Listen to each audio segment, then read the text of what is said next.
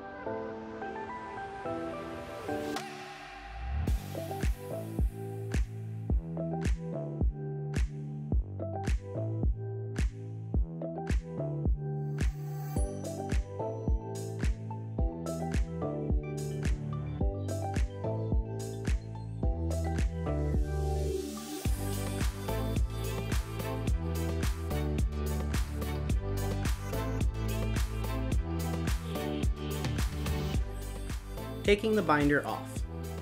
Grab the left bottom corner of your binder with your right hand. Grab the right bottom corner of your binder with your left hand.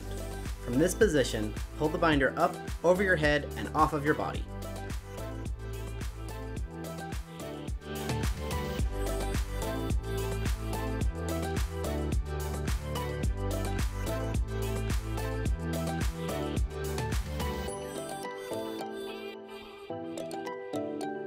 Taking off the binder, style 2.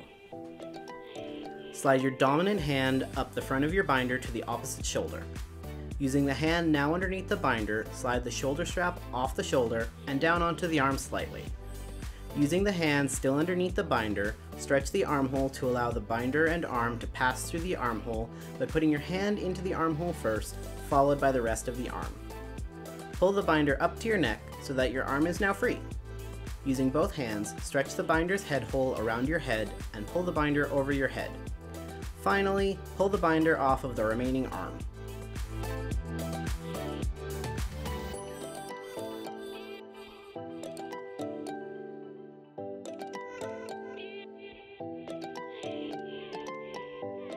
These are only two ways to take off a pullover binder, but everyone is going to find their own, best, most comfortable way to take their binder off.